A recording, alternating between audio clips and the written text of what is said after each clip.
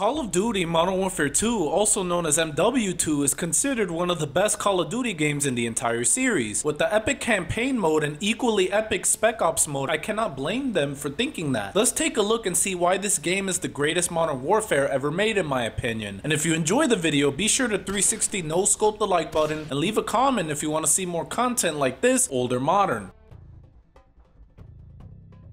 So let's start off with one of the best Call of Duty campaigns I've ever played. You have the main story where you play as main protagonist Sergeant Gary Roach Sanderson under the Task Force 141 unit, while during the secondary story you first play as Private First Class Joseph Allen under the US Army Rangers, then as Private James Ramirez under the same unit. I'll go over the main story first, then the secondary story in order. For the main story, you have your prologue mission. You play as Roach where you're sent to a Russian airbase with Captain John Soap McTavish, located in the mountains of Kazakhstan with silenced weapons, one of them including a heartbeat sensor, to recover an ACS module before the Russians can get sensitive information out of it. There's one point where you guys get found out after finding the module, but thanks to C4s you were able to place around the base prior, you were able to set it off to create a diversion so you and Soap can escape. Here's where things get even crazier. While you guys go down a snowy cliff and take down enemy soldiers shooting at you while riding snowmobiles, you take them down and hijack their snowmobiles to escape. So if you're a racing fanatic, you could get your racing on with the snowmobiles while dodging enemy soldiers and snowmobiles, plus helicopters firing at you. You have to make it to the extraction point through all of this. To start the main story, you are sent by presumed supporting character General Shepard as an undercover CIA agent while playing as Private Allen under the alias Alexei Borodin. This was after being transferred from the Army Rangers to Task Force 141. You're put alongside the presumed main antagonist of the game, Vladimir Makarov. Makarov is a terrorist who seeks revenge after his mentor Imran Zakhaev was unalived back in COD 4. While you're undercover, Makarov and his team conduct a false flag attack by unaliving innocent civilians at a Russian airport to make it seem like it was an attack carried out by Americans, even though everyone but Allen was Russian. That's why Makarov says this at the very start of the level. Remember,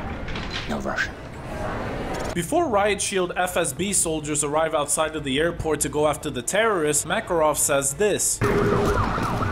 This solidifies what I said earlier about Makarov seeking revenge. Towards the end of the level, before you can make a getaway, Makarov unalives you and leaves you there, which results in Private Allen's demise, and Russia's outcry to go to war with the United States of America. Here's a few plot holes I've noticed though. So Makarov at the very end of the level says when the Russians find the body that all of Russia will cry for war, but Allen was American, plus when Task Force 141 goes after Makarov's weapons dealer, the place of origin for the bullets was in Brazil, so why would the Russians want to cry for war, presuming Allen was Russian when he was American all along, especially when Makarov's plan was to make it seem like Americans were the ones who orchestrated the massacre at the airport with American weapons. I find that kind of strange. And one final side note, I don't know if I'm blind or the reverse compatible digital copy of MW2 for the Xbox 360 didn't have it, but I heard there was a disclaimer that lets you skip the mission because of its graphic content, even though from the time I played the campaign, I have never seen this warning before. That's extremely weird as well, but it is what it is. But anyway, as mentioned earlier, you're sent by General Shepard to go to Rio de Janeiro, where you go after Makarov's weapons dealer Alejandro Rojas. So you team up with your allies Soap and Ghost. You gotta fight through the favela to locate Rojas while taking down the Brazilian militia. You also gotta be very careful to avoid harming civilians while pushing through the favela. At the end of the level from the top floor of a building, Soap channels his inner Roman Reigns and hits a crazy ass inverted spear through the glass where they land right on top of the car. I'm shocked Rojas was able to survive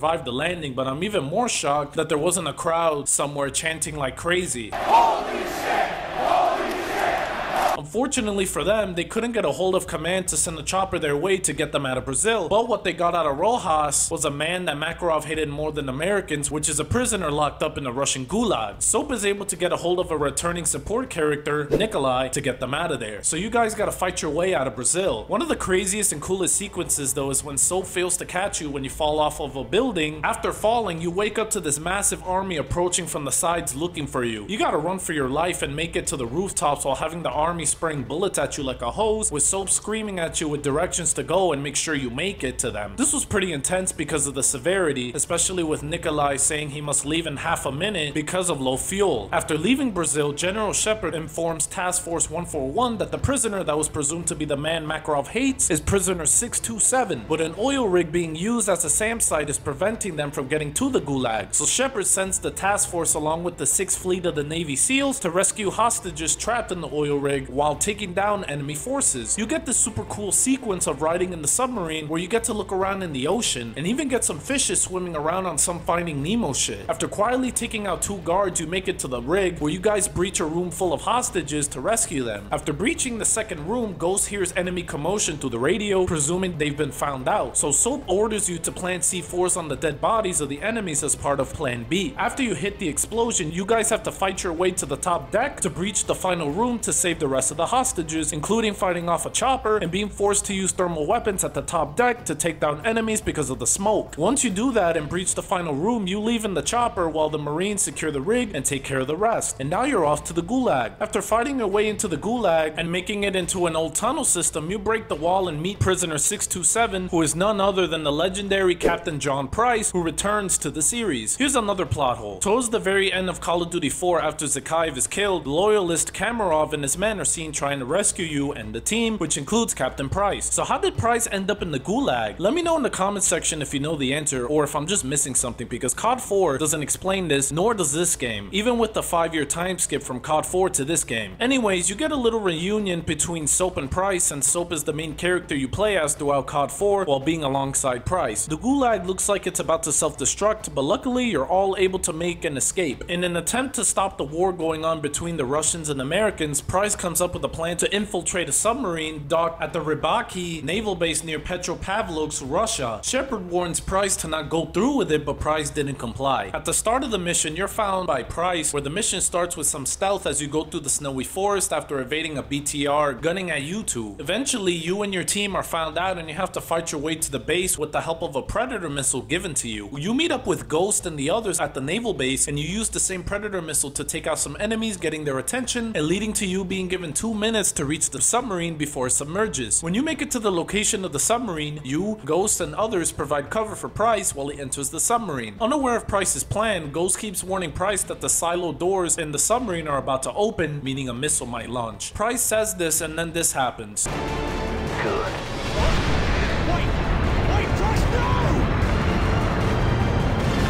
Yup, Price sends a missile to the upper atmosphere to cause a detonation to act as an EMP to cut all electronic devices throughout the east coast of the United States. This ends up saving the lives of the Army Rangers as well, but I will get into that later. This leads to Shepard getting a blank check by the Secretary of Defense to use it for whatever it takes to take down Makarov. He gives intel to the Task Force 141 about the last safe havens for Makarov, his safe house located in the Georgian-Russian border, or a US vehicle disposal yard called the Boneyard located in Afghanistan. You and Ghost go to the safe house while Soap and Price go to the Boneyard. When you fight your way into the estate, you can only find enemies in there with no sight of Makarov. What you were able to find though was a crap ton of intel including Makarov's playbook with names, contacts, locations, etc. You connect the DSM to Makarov's computer to get the intel while protecting it from enemies. When the transfer is complete, you and Ghost have to rush over to the extraction point where Shepard meets with you, and this is by far one of the saddest and most unexpected plot twists I've ever seen in a first person shooter. While Ghost carries you to the extraction point after being overwhelmed, you both meet with Shepard where he asks if you have the intel. Ghost says they do, and then Shepard says this.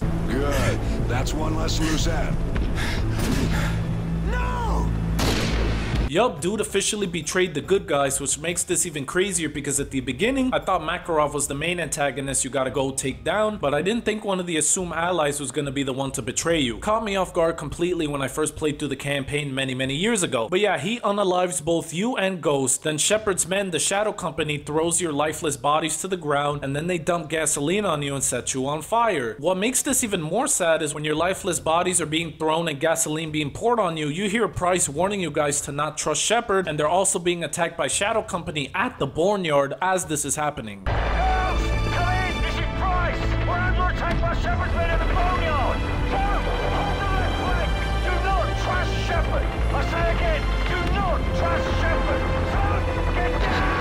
Shepard did this because he wanted to be seen as a war hero and take all of the glory for himself to take down Makarov. So since Roach isn't alive anymore, you play as Soap for the final levels of the campaign, for the main story. So you have to fight through the boneyard while Makarov's and Shepard's men are tearing each other apart. While you must fight to the extraction point so Nikolai can save you and Price, you hear Price communicating with Makarov himself. After telling Makarov about what's going down with Shepard, he asks Makarov to give him some intel on Shepard. Makarov is reluctant at first, but after Price asks him if he heard of the saying, the enemy of my enemy is my friend, Makarov spills the beans and tells Price Shepard's hideout location, which is inside Hotel Bravo. After fighting through the armies, you make it to Captain Price who picks you up and they drive into the back of Nikolai's plane where they head to Site Hotel Bravo. You and Price infiltrate the spot so you can track down Shepard. At first, you use stealth to get through, but once you make it into the cave and the Shadow Company catch on, you have to fight like normal. When you breach Shepard's command room, you don't find Shepard there, so you and Price hack into the door controls and push forward more until you reach a river to hop into a boat to pursue Shepard, while dodging choppers firing at you and going through caves. Shepard boards a pave Pavlo waiting for him by the river, but Price is able to shoot it down as you're instructed to hold the boat steady. With the strong currents, you and Price go down the waterfall. You wake up to the crash site of the pave Pavlo, dazed and hurt with your knife while seeing the remaining pilots on the brink of being unalive. You end up finding Shepard, but when you try to slice him, he blocks and rams your head on the roof of the car, which knocks you down and puts a knife through your gut. Shepard vents his frustrations of losing 30,000 men in the blink of an eye, referencing the nuke scene from COD 4 while the world just watched. He loads his revolver and is about to shoot you, but Price comes in for the save by fighting Shepard, kicking the gun out of his hand. You try to crawl to the gun, but Shepard kicks the gun out of your way and kicks you directly in the face. At this point, you're fading in and out of consciousness, seeing Price and Shepard still fighting. One minute Price has the upper hand, the next minute Price gets overwhelmed and Shepard gets the upper hand, getting on top of Price and relentlessly punching him in the face non-stop. This is where you look at the knife that's inside of you and make the desperate effort to remove the knife to use as a weapon to save Price. This is one of the most intense endings to a Call of Duty ever in my opinion because it's a do or die situation. Either get the knife out of you to save Price or let him get beat to death by Shepard. The intensity of mashing the button the game tells you to while pulling out the knife, while the crazy visuals on the screen showing how much excruciating pain Soap is in is nuts. But you finally get the knife out, aim it to Shepard, and throw it at his eye, unaliving him instantly and saving Price. The story ends with Captain Price waking up and checking on Soap, seeing that he's badly injured, he carries him up on his shoulders where Nikolai meets up with them. Price tells Nikolai they gotta get Soap out of there, and Nikolai says he knows a place, and boom, ending credits roll. Wow, wow, and wow. This campaign was phenomenal. This was like COD 4 if it was cranked up to 11. With the crazy ass airport massacre that sparks a world war, plus the amazing action packed missions, plus a plot twist that most people didn't see coming, it makes for an epic playthrough, or even a few playthroughs every now and then. I know I do. It makes me think one guy was the main antagonist to be defeated at the end of the game, only for someone who I assume was an ally to be this antagonist because he was a traitor. I recommend people give this a try if they haven't already.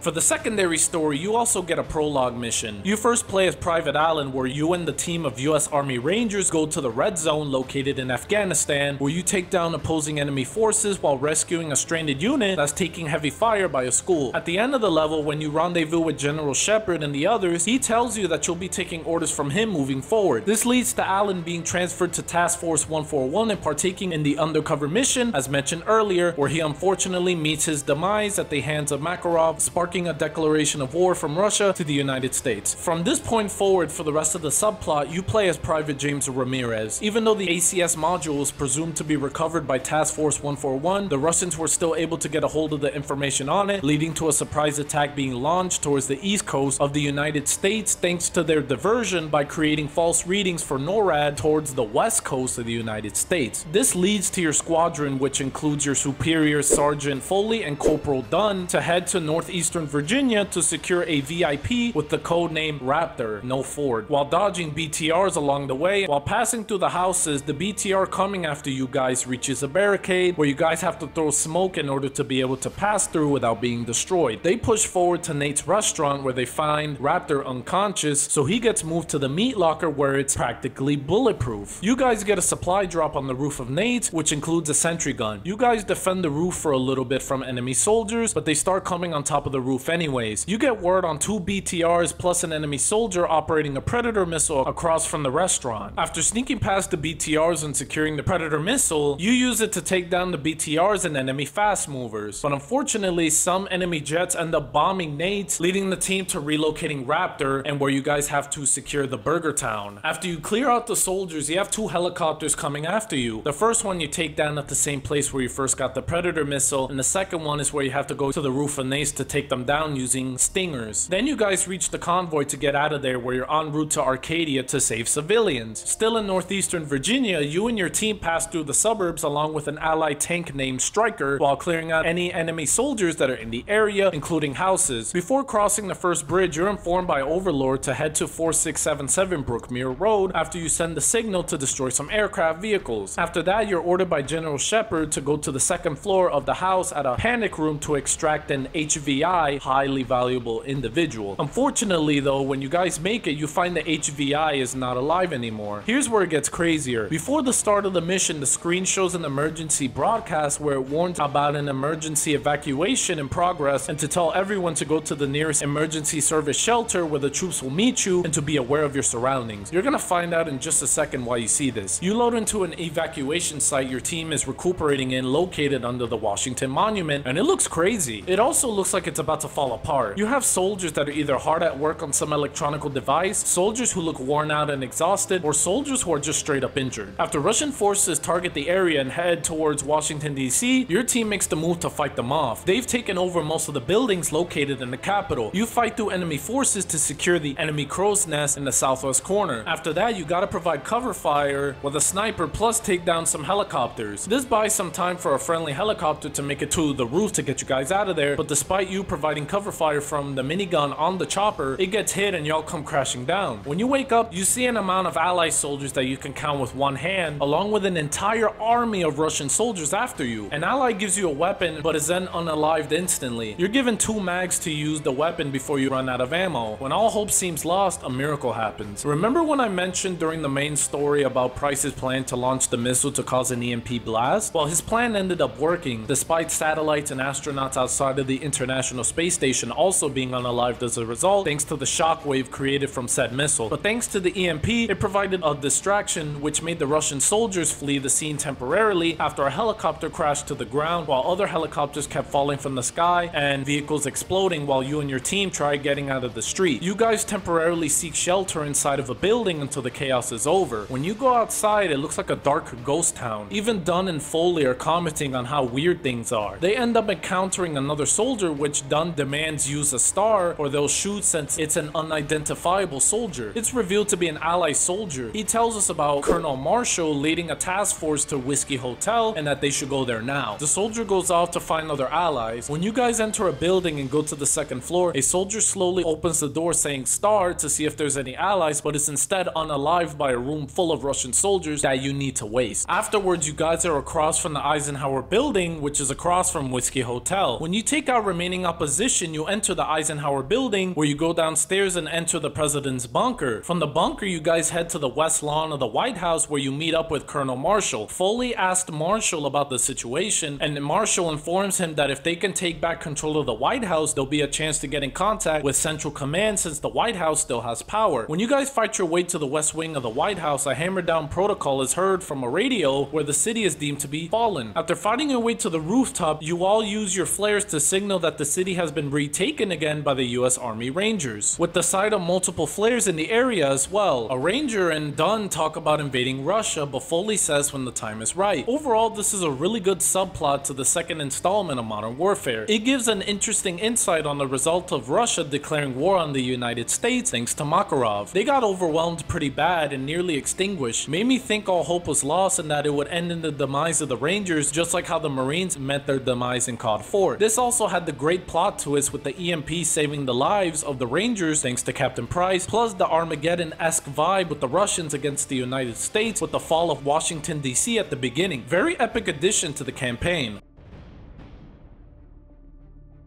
A really cool bonus feature the game gives you is the museum, but you have to beat the entire campaign on veteran difficulty. As the name implies, you pretty much get to look around three different rooms, two of them including characters and backgrounds from very memorable missions with very brief motions of the characters and enemies for the specific sections. It can range from soldiers coming down from a rope ready for battle to a juggernaut beating the shit out of a Russian soldier. I'll get into the juggernauts later on. In the third room, it's a showcase of the different aircraft like choppers and jets or tanks. The fun thing about this is the chance to actually eliminate the enemies from the two different rooms, but you have to do it one by one. And for both rooms, you have a variety of different weapons to choose from that ranges from pistols to shotguns to snipers and LMGs. Pretty much everything the game itself has to offer. If you don't want to eliminate them while they're showcasing the museum, you could press a red button in both rooms that says do not press. When you press, the characters in the museum come to life and they all start coming after you. So you gotta fight an entire army on your own. Good thing there's plenty of cover in the three rooms and it's satisfying to hear this sound effect go off once you clear out one of the rooms. One of the rooms has that juggernaut I told you about. Overall, very fun to revisit every now and then if I want to explore different weapons to use while taking down the characters. This is one of my favorite game modes to play through in this game. Spec Ops is pretty much where you're given specific objectives to complete that are based on the missions you play through in the campaign. They're split into five different sections, Alpha, Bravo, Charlie, Delta, and Echo. At first they're not too bad with one of them being the course that you ran through in the very first level of the campaign. Then taking out enemies through some of the easiest waves ever, especially if you stay camped at the spot you spawn in as soon as the level starts, called Sniper Fi. Depending on the difficulty you choose, it can range from 3 waves to 5 waves 3 being the easiest difficulty, and 5 being the hardest difficulty. Then you have the mission to take down a set number of enemies through the favela while avoiding civilians, which again depends on the difficulty you play the level on. This is called Oh Christor Redentor, so on and so forth. Then you got your stealth missions where you gotta make sure you go undetected while taking down the enemies with silent weapons and getting from the starting point to the ending point, like you had to do in that one mission with Price. There's even some missions where you have to get a certain number of kills to reach a certain number of points to beat the level. It doesn't even have to just all be kills, but if you have balls of steel, you can try to get points through semtexing the tanks going around or using like an RPG or bazooka to take them down, but good luck finding one. The most interesting missions though are the Spec Ops missions that are based off campaign missions from COD 4, like Suspension and Wreckage. It's like going through the bridge towards the end of the level, but if it had much better design. Suspension was a good level with a nice challenge of enemies to go through, plus a helicopter to deal with, and you gotta get from point A to point B. Wreckage is pretty much the exact same level with the exact same map, but it has but it has this very eccentric twist to it. In Wreckage, instead of focusing on going from point A to point B, you have to focus on blowing up all of the cars in the bridge. You're given guns with grenade launchers or explosive weapons along with two sentry guns. It was kind of weird because it's just the same shit, different spin, but it was kind of satisfying,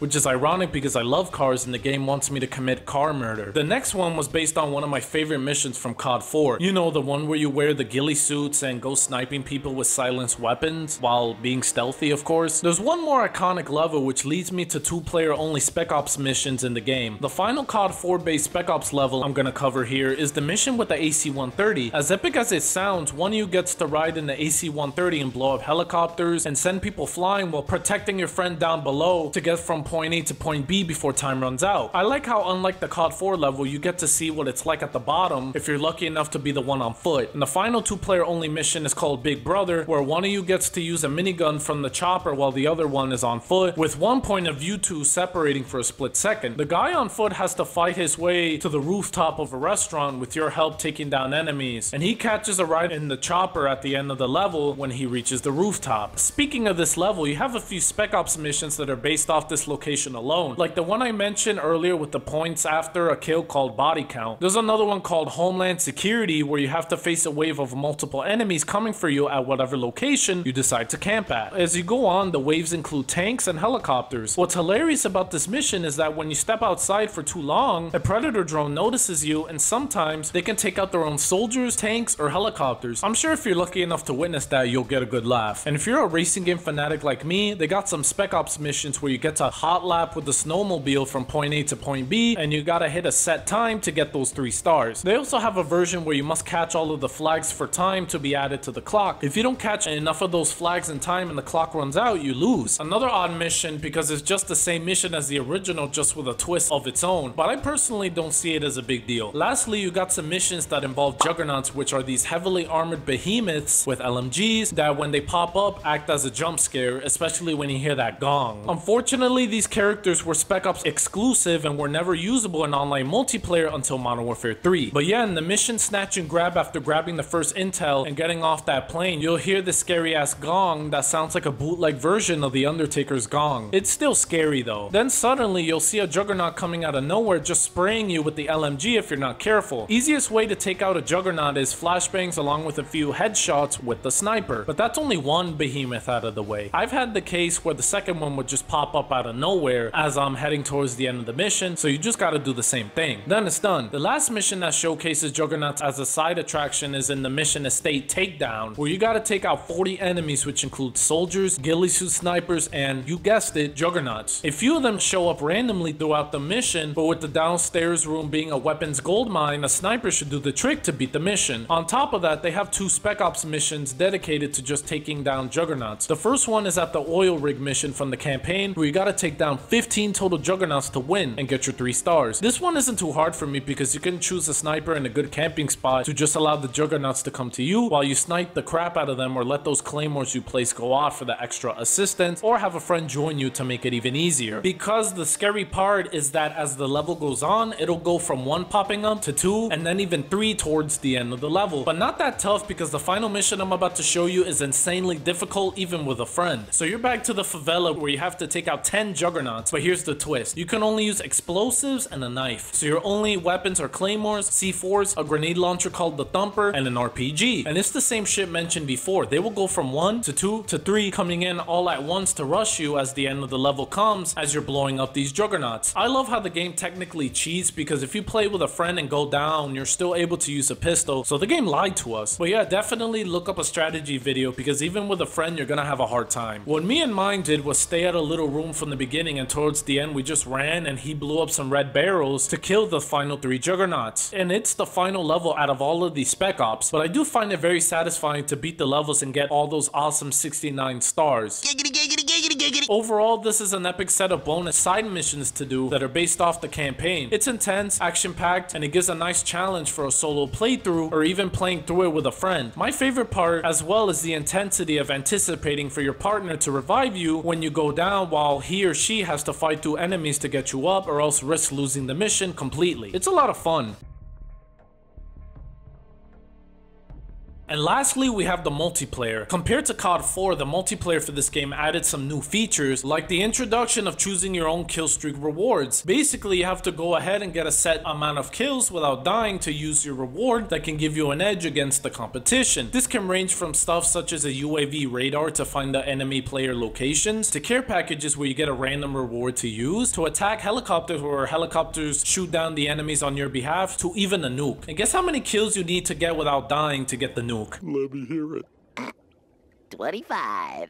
Yeah, 25 kills without dying. You gotta either be having the luckiest day of your life, taking some crazy ass drugs, or you're just an esports caliber player. And the nuke ends the game right there when someone triggers it, no matter what. I love this because in COD 4 you get kill streak rewards, but you never got to choose them specifically because it's already given to you there, with the highest being just an attack chopper. They also introduce a new feature for some nice customizations under call signs and kill streaks called titles and emblems. In titles you can have some cool titles along with some interesting artwork based off challenges you complete in the multiplayer game, weapons, flags, or just the rank you get as you play through the multiplayer. Emblems are acquired by basically the same methods as the titles, but what's cool about the emblems is the fact that some of them are also based off the three perks you can use, especially when you get the pro versions of them. These emblems also include the death streaks you unlock, plus some really sick logos from leveling up to the max level. Speaking of death streaks, this is the first game to introduce that features a bit of a slide slight advantage to the player if they die too many times, like me. This can range from being able to copy an enemy's class while watching the kill cam, to having increased health for a temporary amount of time, to being able to drop a grenade on an enemy out of nowhere once you die. This is pretty funny but pretty epic at the same time because even if you suck at multiplayer like me, you can still have an edge to be able to finally get that kill you've been patiently or unpatiently waiting for. The perks are there too, like your sleight of hand and scavenger, but you can also unlock pro versions of them with additional benefits as long as you complete specific challenges for it, like with the sleight of hand, the pro version allows you to reload while aiming down the sights, while for scavenger you get extra ammo when starting the game. This game also introduces one of the most annoying but fun primary weapons to use, which is the riot shield. This is a bulletproof shield you can use to either bash people with or to block against enemies shooting at you. And if you want to be even crazier, you can have a shotgun, which for some really odd reason is a secondary weapon type instead of a primary weapon type in this game like COD 4, or an akimbo set of pistols to go crazy with. Speaking of akimbo, if you want to know something even crazier, you can make a shotgun akimbo as well. Yeah, you heard that correctly. If you weren't more OP already with one shotgun, how about two? It's only for one shotgun though. Even crazier is every single submachine gun in the game can also be used as an akimbo. This is insane because these aren't meant to do that just like the shotgun, but yet you're out here with two submachine guns wrecking people. And of course you can get your grenade launcher attachment for your assault rifle so you can get your noob tube on and one shot people if you know what you're doing. I like how some of the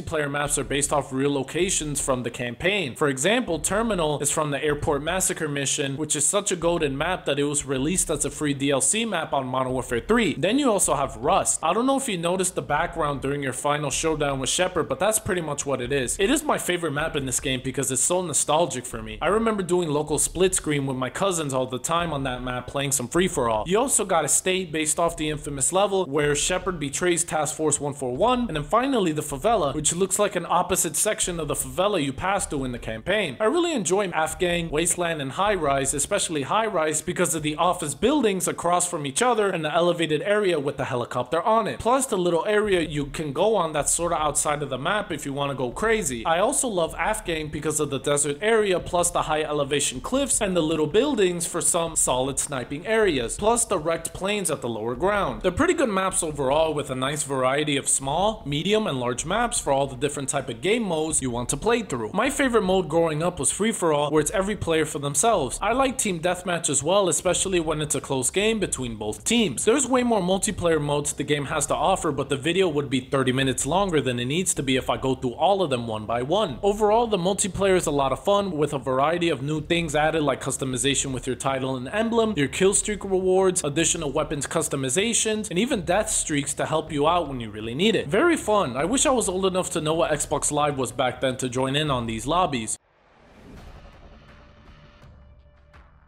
So this is definitely the greatest Call of Duty Modern Warfare ever made in my opinion. You have an epic campaign with an engaging story for the main and secondary story, which leaves me on the edge of my seat wondering what's gonna happen next. Plus the insane plot twist which adverted the focus of taking down Makarov to now having to focus on taking down Shepard. Plus the action was incredible all the way through. The Spec Ops is also an amazing touch because of having the chance to relive part of the campaign levels with a twist because of the objectives you have to do, despite how weird some of them are. It makes it even more intense and epic with a friend, especially the two player missions. The online multiplayer is also a lot of fun with additional customization options and new kill streak rewards that you have to work for to give you the edge you need to destroy the competition, plus the death streaks for an additional edge, plus weapon customization to go ballistic against the competition. It definitely lives up to the hype and I'm not sure if there'd ever be another like it. If you've enjoyed this video, be sure to no scope the like button and noob tube the subscribe button and leave a comment letting me know what you think of the game and this video.